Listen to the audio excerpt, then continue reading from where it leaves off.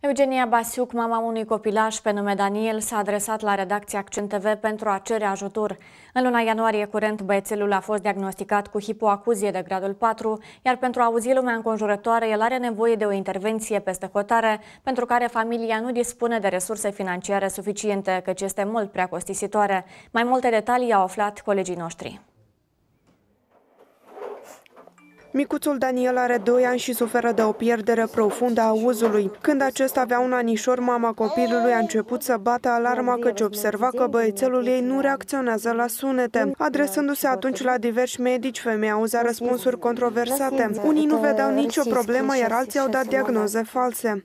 Мы просто обратили внимание, что наш сыночек не реагирует на музыку, на звонкие звуки. Noi am atras atenția că băiețelul nostru nu reacționează la sunete, muzică și am început să batem alarma. Medicii ne spuneau că copilul este autist, mai apoi pentru a afla ce probleme are copilul nostru, mergeam la diversi medici și fiecare ne recomanda alți specialiști, dar nimeni nu ne-a zis că trebuie să verificăm auzul. Постоянно направляли в разные, то есть к разным специалистам, но никто нам не сказал, что нужно было проверять слух. Pomenindu-se într-o situație confuză, Eugenia a încercat să înțeleagă de ce suferă copilul ei, consultând medicii din străinătate. В январе месяце мы обнаружили эту проблему, în luna ianuarie curent am găsit problema și medicul ne-a zis că este prea târziu. Ne-au diagnosticat cu hipoacuzie de gradul 4 la Sankt Petersburg, unde medicii sunt într-atât de buni la suflet că ne-au oferit aparate auditive pentru probă absolut gratuit. Aparatele auditive pe care le avem acum îi stimulează auzul, dar cu o ureche nu aude deloc, iar cu cealaltă aude doar 30%.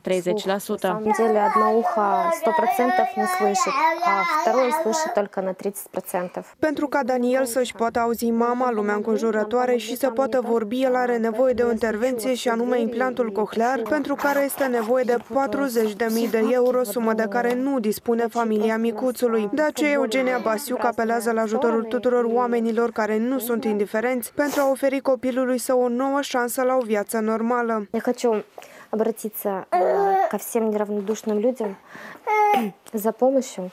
Vreau să mă adresez tuturor celor care nu sunt indiferenți pentru a cere ajutor, căci avem nevoie de o intervenție costisitoare pentru care nu dispunem de resurse financiare. Îi rog pe toți să-l ajute pe Daniel să audă lumea care este plină de sunete. Nu vreau să pierd niciun minut, ci vreau să ajut copilul meu pentru că el să mă audă pe mine și de fapt lumea întreagă, să poată să ne recite poezii. Poate va deveni și muzician, de aceea bat la toate ușile și cer de la toți ajutor